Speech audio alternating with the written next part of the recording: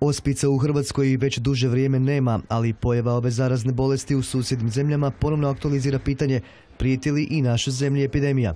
Straha čini se ipak nema. Se bojite epidemije ospice? Ma ne, ničeg. Imate djecu, biste ih cijepili? Da, da, da, jesam. Sve ok. A, mislim da treba cijepiti djecu. Zašto? Zbog svoje sigurnosti? Zbog svoje i zbog drugih, svakako. Zbog manje procijepljenosti koje je u 2016. bilo ispod 90%, epidemija ospica i u našim krajevima nije isključena. Situacija nije e, tako e, idilična iz razloga što postoje grupe e, djece koja, koje su necijepljene i oni se mogu razboliti e, ukoliko dođu u kontakt sa oboljelima. Dakle, ako prilikom svojih putovanja u Srbiju, u Italiji, u Rumunjsku gdje postoje oboljevanja epidemijskih razmjera od ospica, dođu u kontakt sa oboljelima, oni se a, mogu a, razboljeti. Dakle, svakako bi bio poziv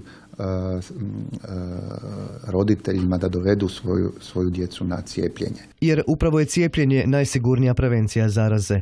A kad je riječ o oboljevanjima od ospica u ovom dijelu Slavonije, prije tri godine u Novoj Gradiški zabilježeno je 12, a prije 10 godina u Slavonskom brodu 20 slučajeva. Kasnije broj oboljelih rapidno pada.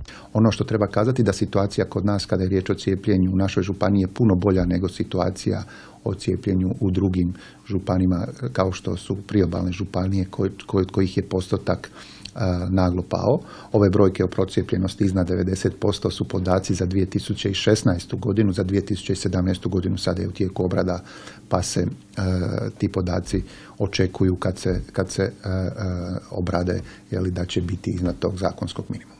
Mnogi ospice ne doživljavaju ozbiljno i uspoređuju ih s vodenim kozicama. Ospice nisu kozice, nisu tek osip na koži.